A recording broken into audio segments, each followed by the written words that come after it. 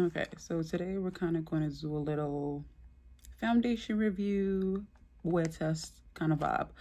So this is the Tom Ford Traceless Soft Matte Foundation.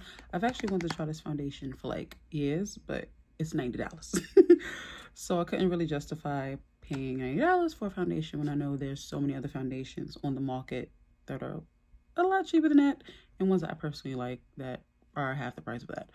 But a couple of months, a couple of weeks ago, a couple of months ago, um, I saw this at Sephora on sale for like 40 something dollars, which is a more reasonable, way more reasonable price than $90. So we're going to try it. Um, I have the shade 9.5 warm, um, warm almond. So we're going to try this out. Um, it's supposed to be super full coverage. That's actually why I wanted to try it. So I'm gonna try it out and see how it works. All right, so brows already done. I'm primed. Let's give her some time to come out. Oh, oh okay. It's a little watery, which I kind of knew. Obviously, the color is a little off. Um, it's too late to go back and change it, but actually, it's not bad. Um,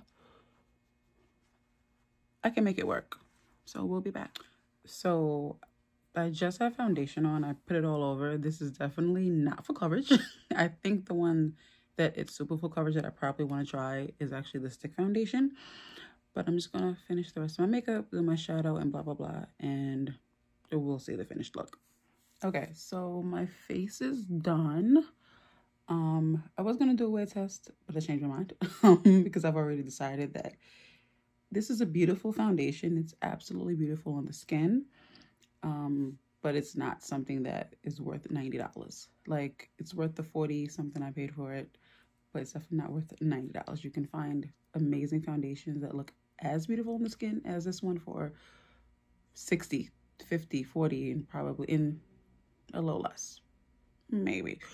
Um, but yeah, it's beautiful, but I wouldn't pay $90 for it. Um, yeah, this is it and